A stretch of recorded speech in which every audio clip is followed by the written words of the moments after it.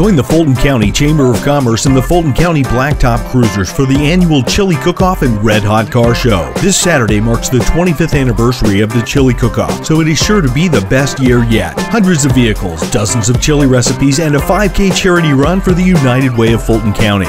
It all starts Saturday morning at 8 a.m. with chili served from 11 a.m. until it's gone. Join us for the 2016 Chili Cook-Off and Red Hot Car Show, October 8th in downtown Rochester.